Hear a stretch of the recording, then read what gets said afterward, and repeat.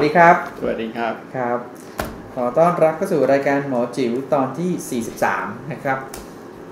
เป็นตอนเกือบสุดท้ายของซีรีส์ธุรกิจพันธุกรรมนะครับ เรามาคุยกันเรื่องของบทสรุปไม่ใช่สิ คุยกันจากเนื้อความจากหนังสือเล่มนี้นะครับ ธุรกิจพันธุกรรมนะครับแปลโดยนายแพทย์คุณศักดิ์ประความดีเองนะครับ ก็จริงๆแล้ว เอ่อเราคุยกันมาหลายๆตอนเนี่ย ผมก็เพิ่งนึกได้ว่าเราก็ไม่ได้ประชาสัมพันธ์เลยว่า ถ้าสนใจอะไรยังไงให้มาที่ไหน แต่ว่าตัวแถบตัวหนังสือข้างล่างที่เห็นคงจะขึ้นมา ให้ดูว่าให้ไปติดตามที่ Twitter หรือ Facebook ทั้งหลายนะครับของนายแพทย์คุณศักดิ์แล้วก็หรือมาที่ช่างคุยก็ได้นะครับเพื่อ feedback กลับเข้ามารายได้จากการขายหนังสือเล่มนี้นายแพทย์คุณศักดิ์มอบให้การกุศลนะครับไม่ได้ไม่ได้เป็นการแสวงหากำไรนะจริงๆแกทำตอบแทนสังคมเป็น CSR ของตัวเองนะครับ แล้วก็ หลาย ๆ เรื่องในนี้เนี่ยพอคุยกันมาถึงขนาดนี้ก็จะเห็นแล้วหละจริงแล้วเป็นกุศโลบายในการ คุยกับไปที่สังคมว่าไอ้ที่คุณมาหาผมเนี่ย คุณคุณอาจจะน่าฉุกคิดบางประเด็นหน่อยนะ อย่าอย่าเพิ่งมองเห็นแพทย์เป็น เป็นเป็นคนรับจ้างทำตามออเดอร์นะครับ เราคุยมาทั้งหมด 5 ตอนนะ5บทครับ6ตอนแล้วนะครับ บทที่ 6 ของหนังสือเล่มนี้ ชื่อตอนว่า ตลาดแลกเปลี่ยนเปลี่ยนเด็กอันนี้หมายถึง อันนี้ก็บทนี้อาจจะไม่เหมือนห้าบทแรกที่ว่าเน้นในเรื่องของห้าบทแรกเน้นเรื่องของเทคโนโลยีครัและบวิวัฒนาการ แต่บทที่หกนี่จะเป็นเอ่อประเด็นที่เกี่ยวเขาเรียกว่าเกี่ยวโยงกับการเอ่ออยากมีลูกในบริบทที่ว่าเรามี เด็กกำพร้าที่รอคนไปอุปถัมภ์ใช่ไหมอันนี้มันเกี่ยวกันยังไง ก็เกี่ยวกันในในเอิ่มประเด็นที่ว่าเอ่อบทนี้เขาก็พูดถึงประเด็นสังคมว่าเราคนที่อยากมีลูกเนี่ย ถ้าเขามีลูกไม่ได้จริง ๆ เนี่ย หลังจากรักษาด้วยเทคโนโลยีทางการแพทย์แล้วไม่สำเร็จเนี่ย ให้เขาลองเออหวนคิดว่า ถ้าเขาอยากมีลูกที่เป็นเด็กกำพร้าที่มีลักษณะเอ่อคล้าย ๆ ที่เขาต้องการเนี่ย จะนำไปรับรับเด็กไปเลี้ยงดูจะดีไหม เพราะเขาถือว่าเป็นการเอาสองสิ่ง เอาดีมานก็คือความต้องการของพ่อแม่ที่อยากมีลูกที่มีเองไม่ได้ กับสป라이ที่มีอยู่ในสังคมเอ่อไม่พูดถึงในตลาดดีกว่าอืมในสังคมที่เด็กนั้นอะรอพ่อแม่หรือรอครอบครัวไปเลี้ยงดู มันก็เป็นการที่แมทช์แมทชิ่งซึ่งทำให้เกิดเอ่อประโยชน์ทั้งสองฝ่ายอืมแต่คราวนี้บทเนี้ย ที่เอามาเขียนตรงเนี้ยจริงๆฟังดูมันแหมอืมมันดูสวยหรูมากจบแล้ว แต่จริงๆแล้วบทนี้เขียนขึ้นมาเนื่องจากพบว่าการที่รับเด็กมาเลี้ยงเนี่ย มันมีธุรกิจอยู่ด้วยอืมนะฮะมันมีธุรกิจด้วยเขาเลยถึงตั้งว่าเป็นตลาดแลกเปลี่ยนเด็ก อันนี้ธุรกิจนี้เขาก็จะพูดว่าประเด็นของคนที่อยากได้ทำไงถึงจะได้เด็กที่ลูกที่ต้องการเด็กที่ต้องการ อืมอีกด้านหนึ่งก็จะมองว่าเด็กที่รอคอยเนี่ยกำลังประสบปัญหาอะไรบ้าง ที่จะได้เจอกับพ่อแม่ที่เหมาะสม แล้วปัญหาของที่เมื่อ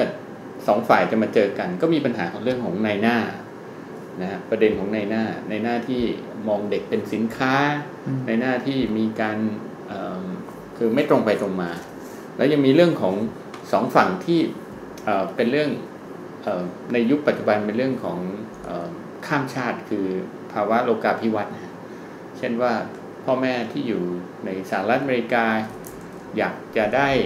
เด็กกำพร้าไปเลี้ยง แต่ขอเด็กกำพร้าไปเลี้ยงในสหรัฐอเมริกา ขั้นตอนมันยุ่งยากมากนะใช่ไหมเรารู้อะ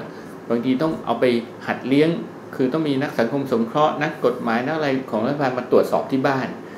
ในหนังสือก็จะเขียนว่าถึงขั้นจะต้องมาสอบถาม สมมติว่าคุณหง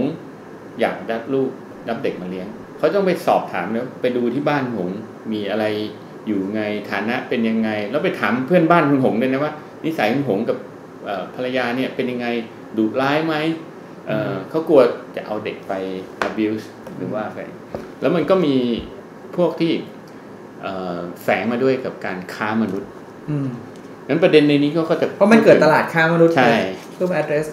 ครับ มันไม่มีตลาดค้ามนุษย์อยู่ แล้วมันก็มีเด็ก กำพร้าที่แบบว่าอยู่ในตลาดเอ่อในในสถานเด็กเลี้ยงกำพร้า ซึ่งก็อาจจะเป็นเด็กที่อืมพูดง่ายๆว่าไม่ค่อยดูไม่ใช่เป็นระดับดีเท่าไหร่ที่พ่อแม่อยากได้ พ่อแม่บางทีก็อยากได้เด็กที่แบบขอโทษ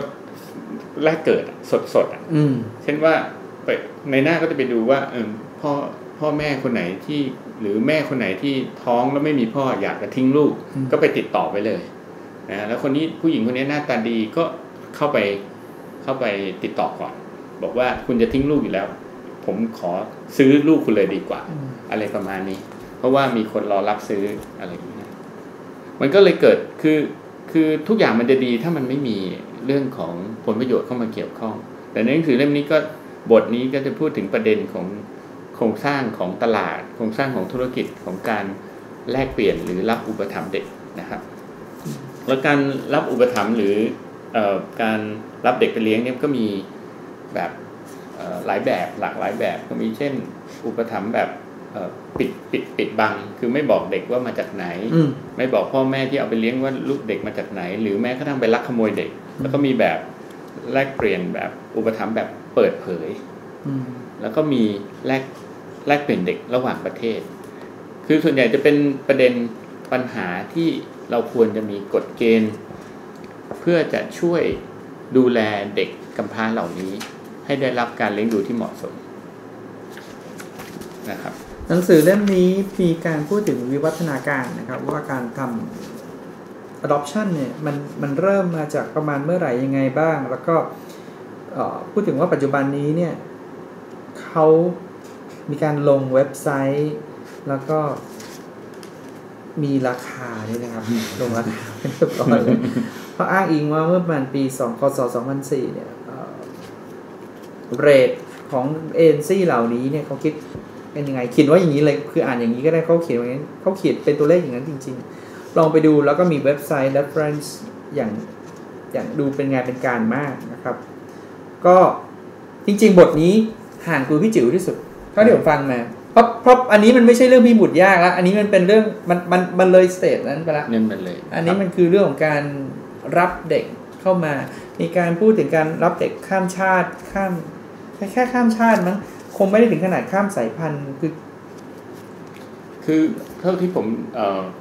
เอ่อจะจะเพิ่มเติมโดยประสบการณ์ส่วนตัวเนี่ย ยอมรับว่าเรื่องบทเนี้ยอาจจะไกลตัวจากเอ่อคู่คู่สมรสของคนไทยอืม เพราะคนไทยจะไม่ค่อยนิยมครับนะแล้วก็มักเนื่องจากว่าคนไทยอาจจะมีเอ่อลูกหลานเอ่อครอบครัวใหญ่ บางทีเราไม่ไม่มีลูกก็อาจจะไปรับหลานมาเลี้ยงเป็นลูกอืมแต่มันก็อยู่ในแวดวงวงสาคณาญาติบางทีเอ่อน้องคนนี้อาจจะมีลูกหลายคนก็เลยไปขอเด็กบางคนมาเลี้ยง ซึ่งใน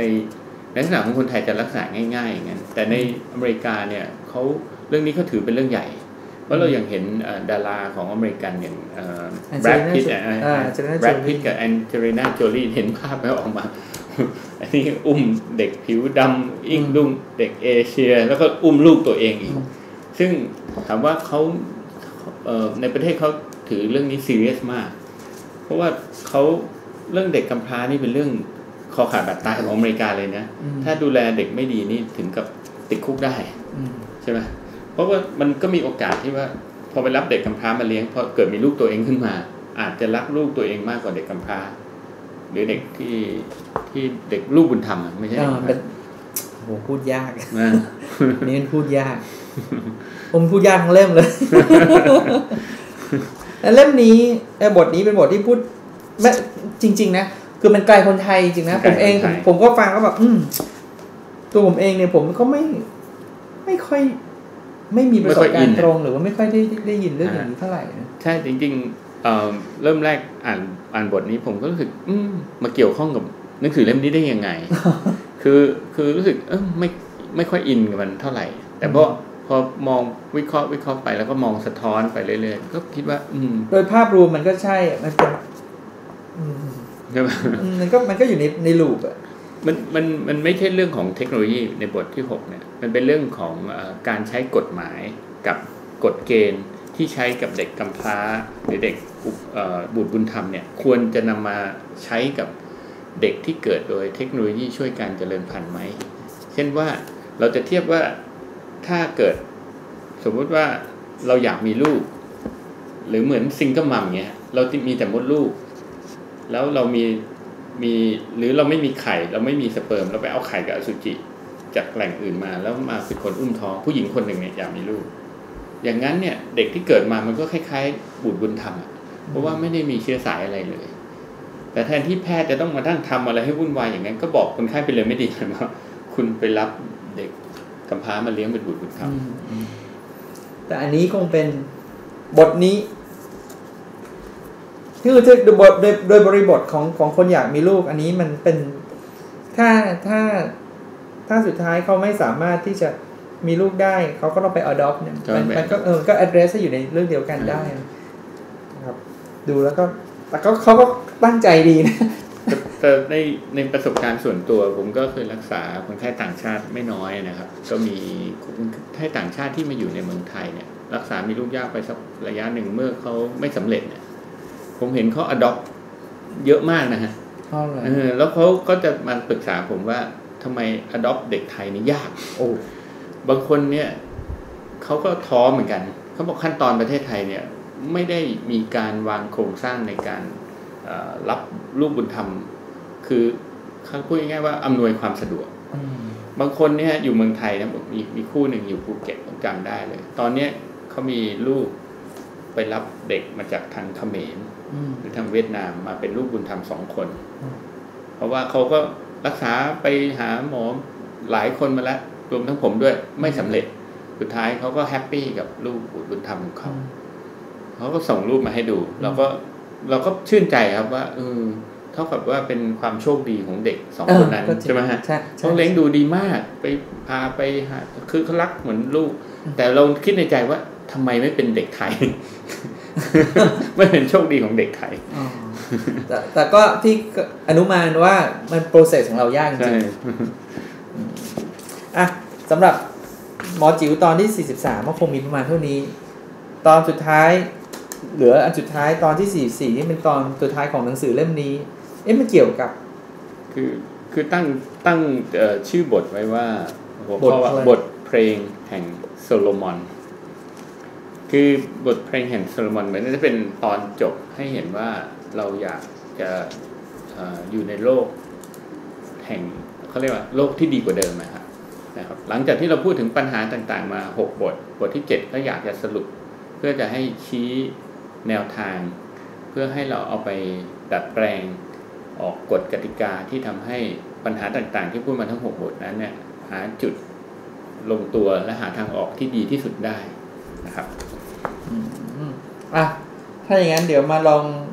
ดูตอนต่อไปนะครับ ก็